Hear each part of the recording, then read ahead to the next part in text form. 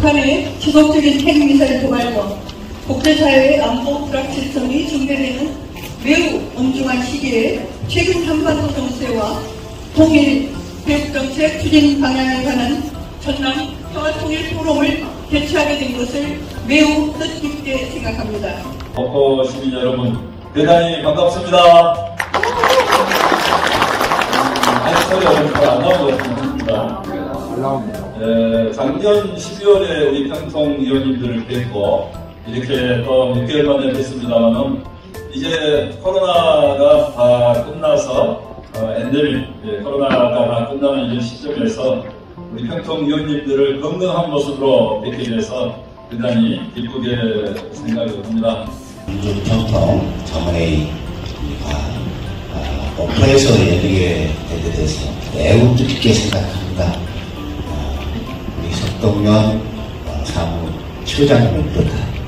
어, 우리 민주평통이 목포에 대해서 또 전라남도에 대해서 어, 큰 관심을 갖고 그만큼 중요시하고 있다.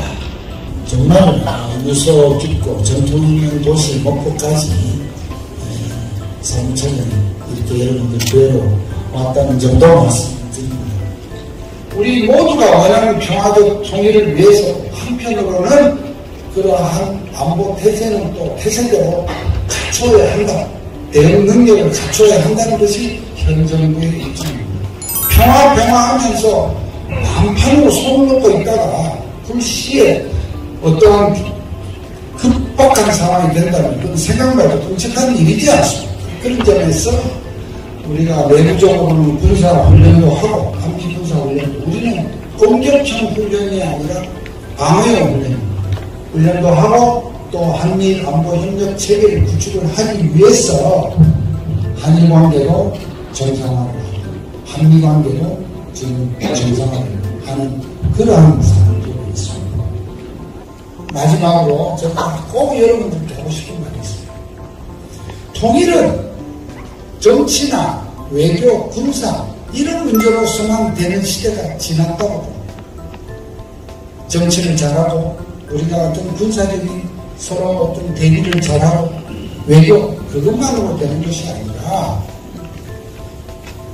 우리 대한민국의 아까 좀 도지사님이 딱 그 말씀입니다. 우리 대한민국의 국력이 여러 분야에서 이렇게 커지는 거예요. 여러분들 늘 건강하시기 바랍니다. 감사합니다.